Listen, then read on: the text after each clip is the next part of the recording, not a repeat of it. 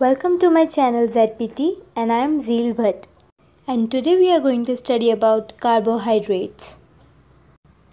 So first of all, what is carbohydrates?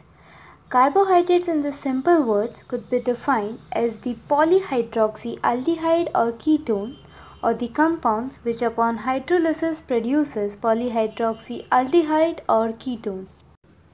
What is the composition of the carbohydrates? Carbohydrates are mainly composed of three elements carbon, hydrogen and oxygen. I repeat, they are composed of three elements carbon, hydrogen and oxygen. Now let us have an examples of the carbohydrates. Here I have taken two examples fructose and glucose.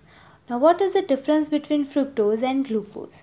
Fructose is 6 carbon containing carbohydrate containing ketone as their functional group and glucose is also 6 carbon containing carbohydrate having aldehyde as their functional group. Thus fructose is known as polyhydroxyketone compound and glucose is known as polyhydroxyaldehyde compound.